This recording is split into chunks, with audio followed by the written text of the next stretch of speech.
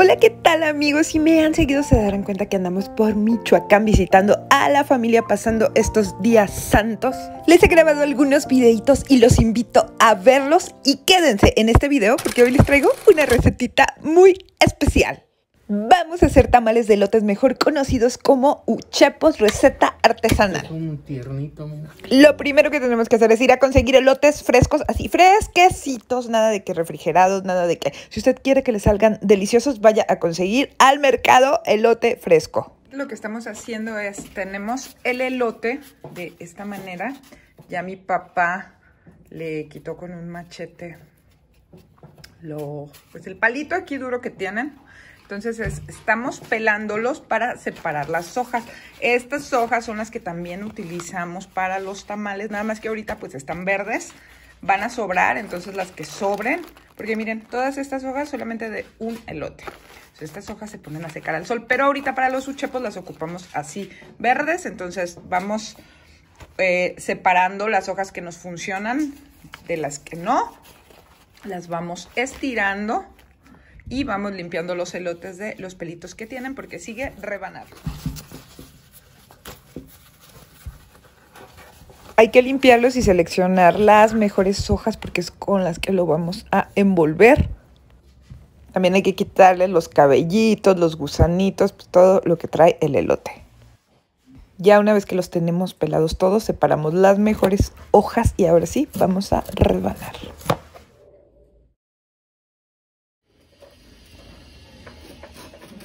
La manera artesanal se basa en el molido. Es una máquina manual donde ya está limpia. La verdad es que hace muchos años que no la utilizamos, pero pues tiene historia, tiene historia. Y pues por aquí va a salir el elote que vayamos colocando. Ya ahorita que lo estemos haciendo, les muestro cómo. La técnica es llenarlo. Ajá y luego con los dedos ayudarse para estarlo bajando. Ah, ok, como prensar. prensando. Ok.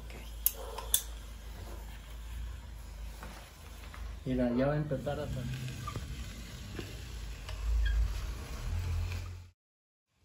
Todo esto se tiene que moler aquí.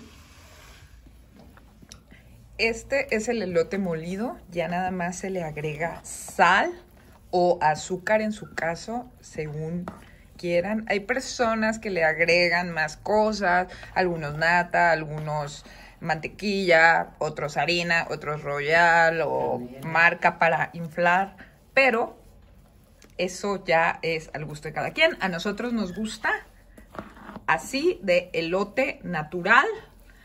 No nos gusta que inflen, no nos gusta que tengan otra textura.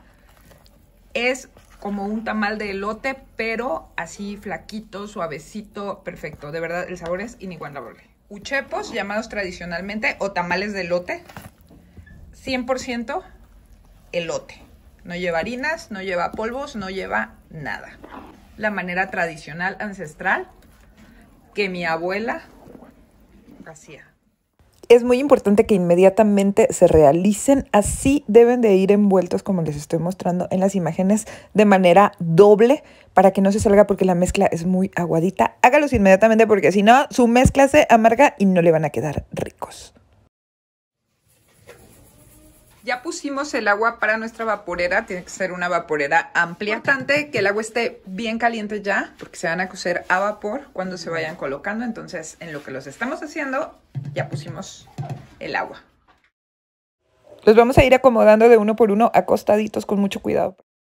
La clave de esto también es cocerlos de inmediato, porque si no el elote se amarga. Sellamos muy bien para que el cocido quede perfecto. Aquí están. Más o menos llevan hora y media. Los vamos a dejar un ratito más. Huele espectacularmente. Vamos a sacar uno para revisar. Wow. Vean nada más la perfección. Así son, pastositos, así, el uchepo o tamal de lote tradicional.